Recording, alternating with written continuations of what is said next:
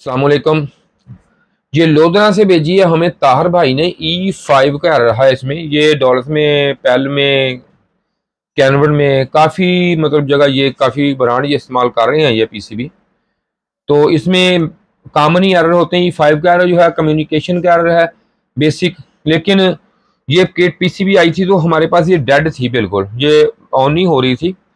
तो इसको चेक किया, सब देखा तो ये देखें, ये इसमें एक चॉपर ये देखें, लगा हुआ है एस एम पी ट्रांसफार्मर होता है ये वाला।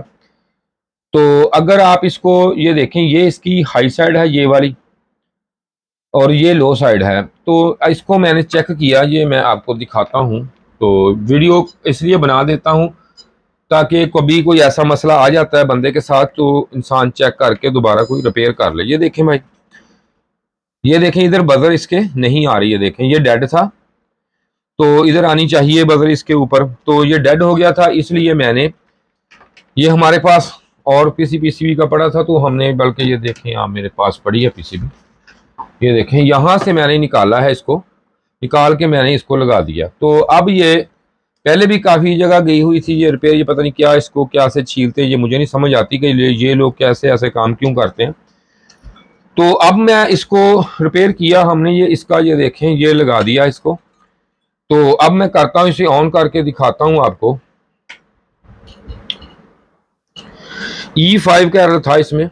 तो अब ये ऑन करते हैं, अब अभी इसको मैं दिखाता हूँ आपको कि ये ऑन होती है या नहीं होती। आपको करके दिखाते हैं अभी। ये देखें यहाँ पे। और अब ये देखें, ये मैं इसको, ये दो वायरें इसकी हैं जो लगा दी जाती हैं इसको देने के लिए करंट तो इस पे ये देखें, एक लगेगी यहाँ पे। ये एन ये लगेगी इस पे एल पे।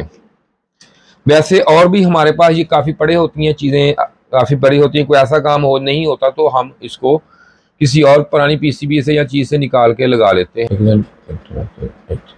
तो ये देखें, ये हमारे पास काफ़ी मकदार में ये पड़ी होती हैं चीज़ें। तो ऐसा जो है, ये देखें, ये अब मैं आपको ये, चलो ये उठा लेते हैं, ये चेक करके दिखाता हूँ यहाँ पे। तो इस पर ये देखें, इसके साथ ये हमारा जो है, ये डेड था, जो मैंने निकाला। तो ये भी उसी, ये देखें सेम सेम इसका ये देखें, इसको रख लेते हैं।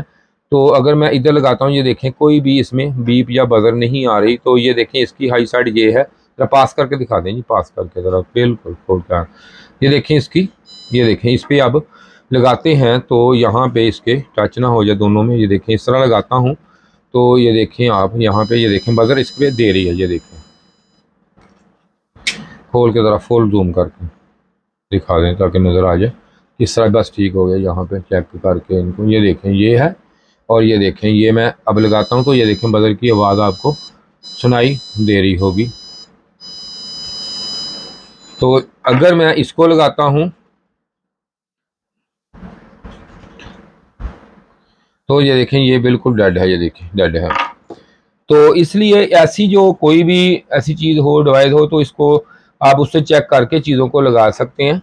तो ये हमारे पास तकरीबन हर कंपनी का ये ऐसा चीज़ें पड़ी होती हैं जो नहीं मिलती तो हम यहाँ से इसको निकाल के लगा देते हैं। अब करते हैं इसको ऑन तो ऑन करके आपको दिखाता हूँ मैं इधर से। तो अब आपने ये फोकस है, इस पर करना है जी। ये देखें, ये लाइटें इसकी हैं। इधर से मैं लाइट कर देता हूँ, ज़रा ऑफ़ ताकि आपको ये क्लियर नज़र आ जाए।